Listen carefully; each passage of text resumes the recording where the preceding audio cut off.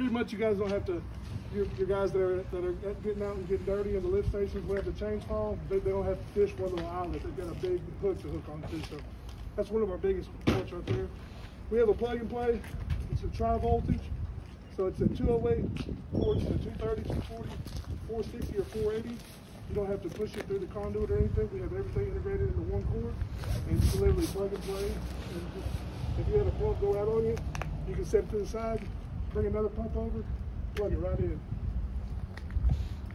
Even if they're at different voltages. So if you had a 75 horsepower motor right here, a, a, a pump going, you had 125 over here, you just have to have a different cord hanging right there, but you just plug and play, do it right over. 440 heat treated stainless steel on the blades. So instead of having uh, our pellet come through here and extend with the nut right here, we have them uh, recessed so cut like a pair of scissors. So pretty much you get a lot less tension. If you're, not coming from the sides, you're cutting like a pair of scissors. It'll keep your stability and your integrity of your parts a lot better. But uh, like I said, I'm not gonna go over harp on it too much about the parts of it. I'll crank it up and I'll go ahead and let you guys see what this guy can do.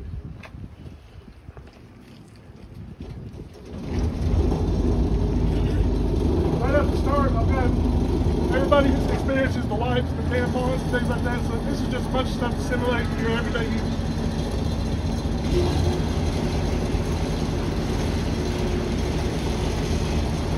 I've got a cleaning hose rigged up right here. At the very end, after I grind, after I chopped up all this stuff, I'll chop that open and I'll show you exactly what it's yielded, what it's, what it's chopped it into.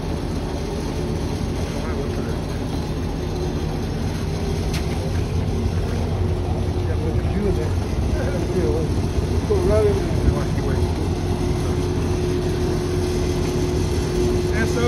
SO new land developments, you see a lot of this.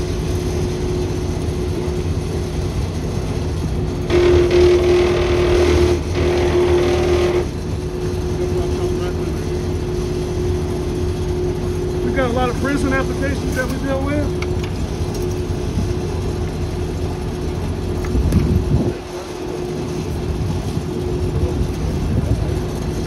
They can't give them metal cutlery imagine, so they get they flush all these plastics down the toilet all any chance they get.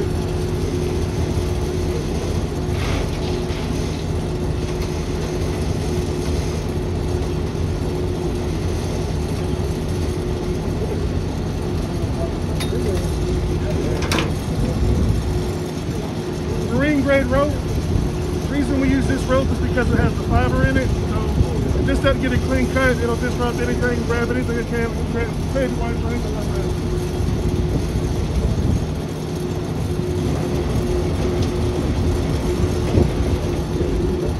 Chop right through. Dreaded baby wipes.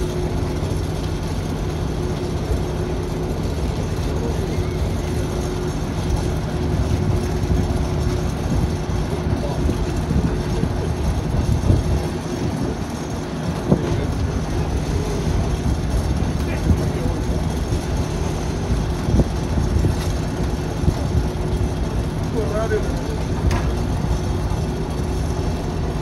new land development as well. We'll see a lot of these feather pond gloves, tore up, stay clogged up pipes.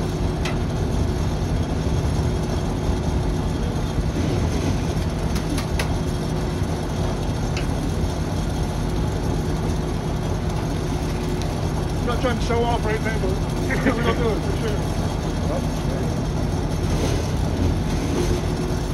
Right right there.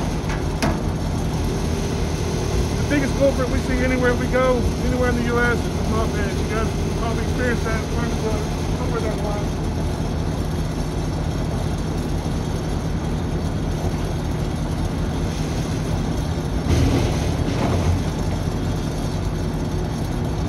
Right through. Anybody got anything else they want me to throw in there? Give you some evidence? you gotta take a couple phones. Sure? You need a new phone anyway, right? Come on. It will take care of a phone. No doubt. All right, guys, I'll cut this off and show you. This exactly particular pump right, while he's doing that, this particular pump is what we is our NV style chopper pump. It actually can be totally submerged or totally dry. You can run this in a total dry pit, eh, which is nice. You can see the picture right here. in a dry pit application where it's hard piped in. And then here's in a submersible application where it's actually fully submerged. What's nice about that, even in a submerged application on this particular pump, is that typically when you're running a uh, submersible pump, your stop point is here. This is where you want to set your floats to stop it here because you don't want this thing to go down and heat up that pump and shut it down and do any damage to it, right? This one here, you get a lot of floating debris up there. You get, you know, your grease bergs, your, your, your fender products, things like that float on top. You can actually run that level down right to here, let it start cleaning out that, that lift station for you and, and have less time to worry about vac trucks coming out and things like that. So you can actually run this thing down and run it dry without any damage to the motor or the pump. You can actually come up here and put your hand on this thing. It's as cool as can be. It has a glycol jacket wrapped around it right now, which is for the dry pit application. It actually runs on an independent system from the pump itself. So, as you see, come on up guys, you can take a look at this. This stuff is clean, so it's not gonna hurt you. um, here's all your cord. You know, if you notice, it cuts it to a point where small enough, it's gonna get past all your other pumps that's going through here, okay? You mop. uh, all your other pumps down downstream to get to the plant. Typically, your plant, your bar screens, your plant range anywhere from a quarter inch up to about one inch. 80 to 199% of this is going to get caught in that bar screen. Okay, not go through the plant like a grinder pump. A grinder pump emulsifies and turns into a mush.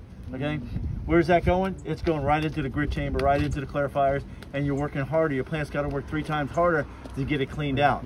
With the bar screens in place, this thing can take everything right in place and get it all out for you. Oh, sponge is still good. It actually made it through. yeah, we'll do that again later.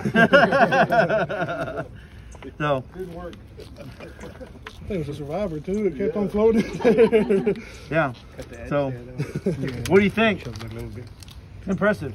It really is. If you notice, it didn't even bog down, didn't slow down, didn't do anything. And that's only seven and a half horsepower running at 1150 RPM. Pretty small.